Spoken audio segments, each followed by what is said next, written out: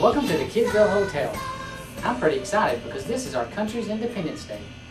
You see, every 4th of July, we all celebrate the time when the founders of our nation gained their freedom from a nasty king who unfairly taxed them and tried to tell them just what kind of church they had to go to. You know, because of their bravery and determination, we still have that freedom to this very day. Isn't that cool?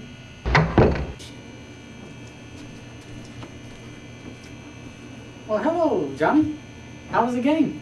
Oh, CC, it was so much fun. Well, cool. Well, who's this friend that you have with you? Oh, this is my teammate, Jenny. Well, welcome to the Kidsville Hotel, Jenny. Thank you, that's very nice, sir. CC, will you explain to Jenny what God has to do with America's independence? Yeah, I don't understand why we have to pray before the softball game. Prayer is only for church.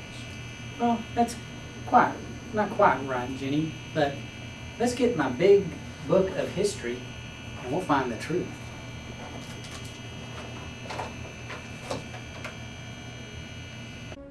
Back in the 1600s, pilgrims left England to find a new home where they could practice their faith in a biblical way instead of a country's king's way. Now, as time passed on, the King of England didn't like what was going on over here, so he raised taxes on stuff like tea. The colonists didn't like that. They didn't want unfair taxes and, be, and to be told by a king what church they had to belong to. So they started a revolution and won their victory and freedom. So the 13 colonies came together and wrote a constitution that gave man and woman their freedom from unfair government taxes and the freedom to worship God in the biblical way. But what about the separation of church and state? I hear about it all the time. Well, hold on just a minute, Jim. Just listen to this. The First Amendment to the Constitution says Congress shall make no law respecting an establishment of religion or prohibiting the free exercise thereof. The writers of the Constitution and their forefathers had lived that reality in Great Britain and the colonies and wanted to protect future generations of Americans, which is us, from experiencing religious oppression. I see how it is now, Mr. CC. It's kind of like when Jesus saves us. He's giving us our independence of sin. That's exactly right, Jenny. Jesus fought for our freedom, and thanks to his death and resurrection, independence from sin is available to everyone. That certainly is exciting stuff. It certainly is. You can say that again. That certainly is exciting stuff. Well, Jenny, let's go up to my apartment. Lucy should have our snacks ready to eat. Oh, yummy. Thanks again, CC, for explaining that to me. Well, I enjoyed it. Wow, talking about all this history's got me pretty excited. And you know, talking about independence and freedom reminds me of a good Bible story.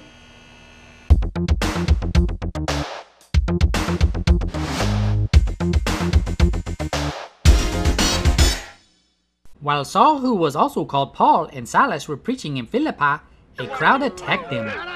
Paul and Silas were thrown into prison, and a jailer was commanded to guard them carefully. He put them in the inner cell and fastened their feet in the stocks. About midnight, Paul and Silas were praying and singing hymns to God. The other prisoners were listening to them. Suddenly, there was a violent earthquake. The foundations of the prison were shaken. All the prison doors flew open, and everybody's chains came loose. The jailer woke up. When he saw the prison doors open, he was about to kill himself because he thought the prisoners had escaped. But Paul shouted, Don't harm yourself, we are all here. The jailer rushed in and fell trembling before Paul and Silas. He brought them out of prison and asked, Sirs, what must I do to be saved? They replied, Believe in the Lord Jesus, and you will be saved, you and your household. Immediately, he and all his family were baptized. The jailer brought Paul and Silas into his house and set a meal before them. He was filled with joy because he had come to believe in God.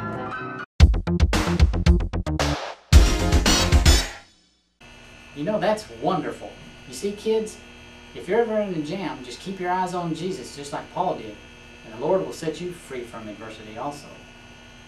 Kidsville Hotel.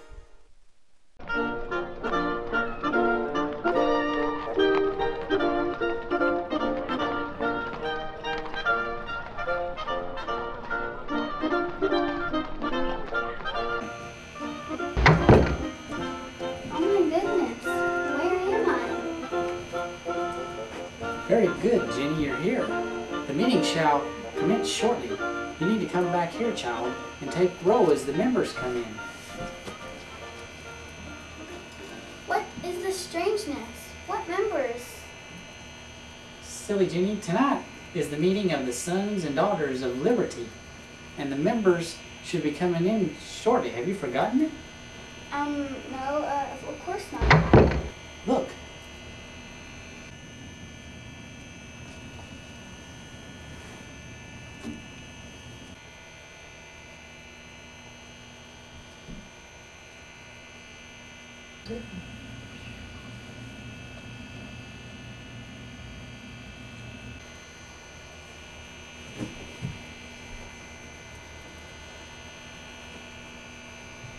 What is tonight's meeting about? Well, the members are going to.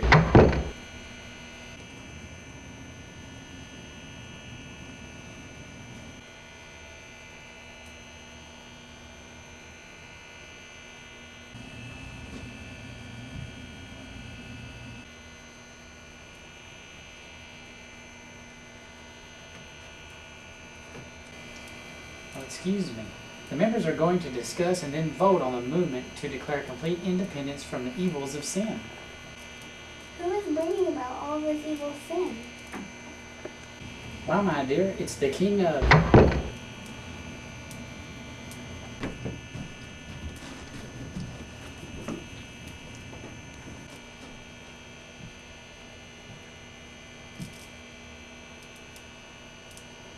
That's quite all right, Colonial Clark C said. You, Nosal Franklin. Yeah. As I was saying, the one bringing all this evil sin is the despicable underworld ruler King Satan the First. He has tried to keep us under his terrible rule, but tonight the great general is going to tell us how we can finally gain independence. The great general has arrived.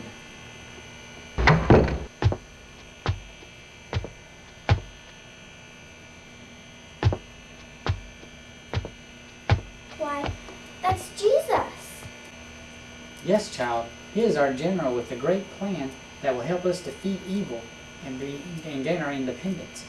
I believe the meeting is about to begin. Let's go.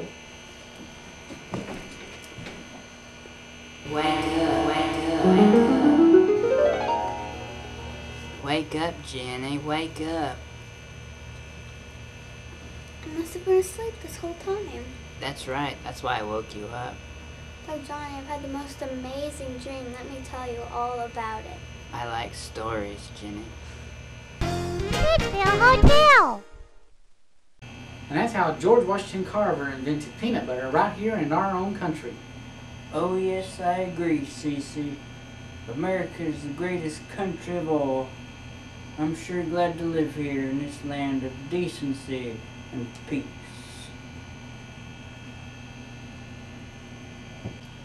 Hmm. Decency and peace.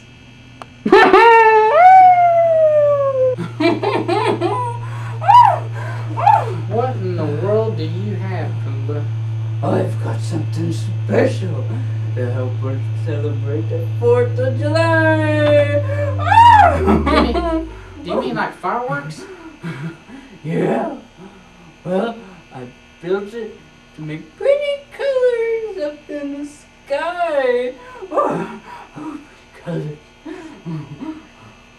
you know that rockets can be dangerous?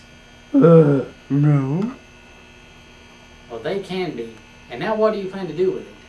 Launch it! In the hotel? No, I'm just using my imagination. Well, you got to be very careful. And Pumpa, Accidents can happen. I think you need to watch this video on fireworks safety. So much, CC. I know all about safety. Yeah, but you need to really. I gotta get ready for the national anthem show. Bye bye, CC.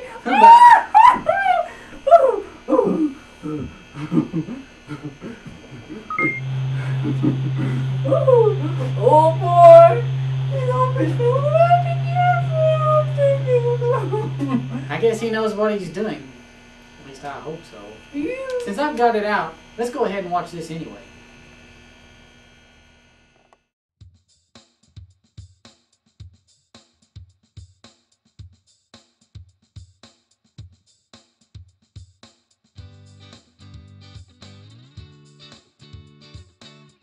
I hope these picnic goodies will be good.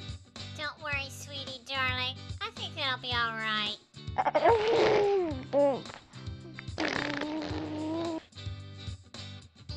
Independence Day is wonderful.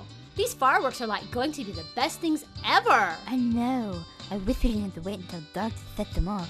I really like pretty sparkly things. Like me too, girlfriend sister. I know that mommy and daddy said we should like not touch them and stuff, but I think it'll be okay. Let me go get those matches and.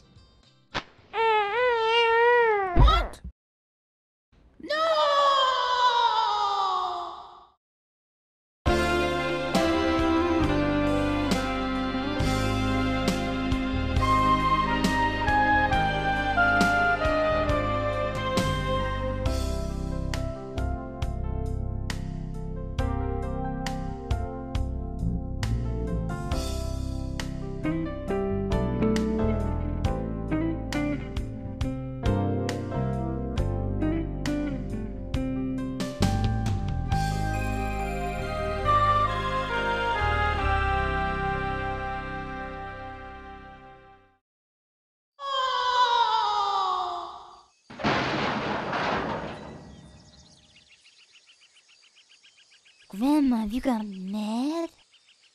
No, you crazy children, what do you think you're doing? We totally wanted to play the with these super deluxe fireworks, Chuh. You were told to never touch those things. But Grandma, we can handle danger. We're not babies. Nonetheless, kids should never play with fireworks. Things like firecrackers, rockets, and sparklers are just too dangerous. But sparklers are so sparkly and beautiful. Sparklers can reach 1800 degrees Fahrenheit, hot enough to melt gold. Oh my goodness! Like, keep those things away from my jewelry box. Ow! That is right, my little darling head. That is why you should never hold fireworks in your hand. They could be unknowingly ignited and explode at any time. Then you would have a real problem to worry about. And what if fireworks are illegal around here? Do you want to go to jail? Yeah, but I learned in Sunday school they gotta protect me from bad stuff. The Bible says in Proverbs 14, Wise are cautious and avoid danger. Fools plunge ahead with reckless confidence and suffer for it. That's right, God does look after us. But that does not mean we can just do whatever we want and not worry about danger. We must be responsible with the lives He has given us. We must not be careless. I like to think that I'm getting it and understand.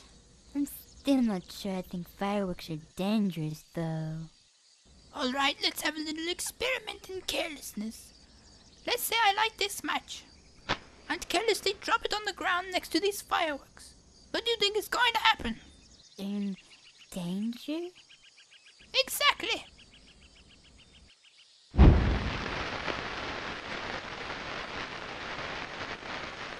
Like, hit the deck! Get of there.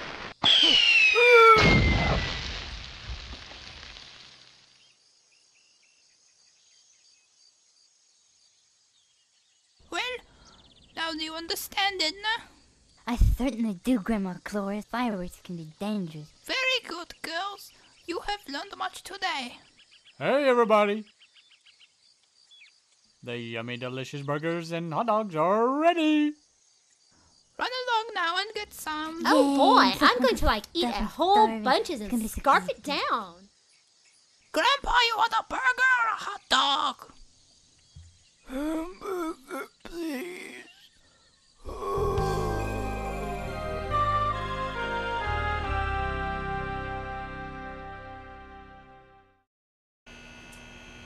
Well, kids, we certainly learned a lot about the 4th of July today. We learned about how the colonists were able to gain independence and religious freedom from an evil king, and how Jesus can give us freedom from sin. And we just found out all about fireworks safety, too. Sissy, Sissy, Yes, Shippy, what is it? Pumpa's about to launch his rocket. Well, let's pray that everything works out and that imagination doesn't explode. I certainly hope so, CC. Here they go! What's going on? Fireworks! Let's go see!